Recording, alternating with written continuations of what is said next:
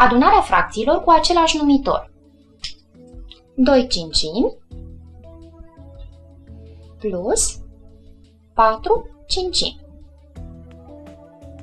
Iată, cele două fracții au același numitor 5. Cum procedăm în cazul acesta? Păstrăm numitorul comun, el este 5. Și îl scriem la locul său sub linia de fracție și adunăm numărătorii. 2 plus 4 este egal cu 6.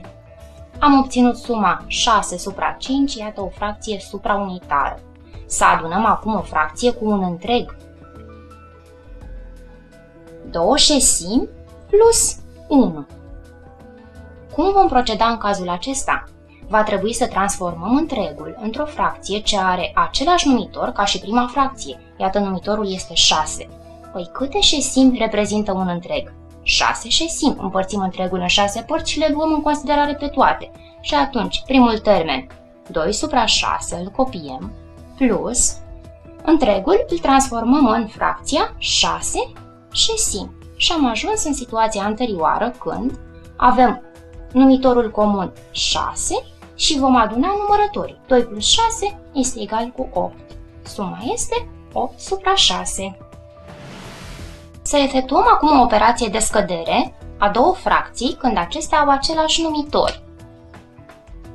7 supra 8 minus 3 supra 8. Ca și în cazul adunării, pentru că numitorul este comun, este 8, păstrăm numitorul 8 și scădem numărătorii. 7 minus 3 este egal cu 4. Și am obținut fracția 4 supra 8, 4 optimi. Acum să scădem dintr-un întreg o fracție. 1 minus 5 șesimi. Atenție, minusul să fie în dreptul liniei de fracție. În acest caz, va trebui să transformăm întregul într-o fracție ce are același numitor ca și fracția ce reprezintă scăzătorul, adică câte șesimi reprezintă un întreg.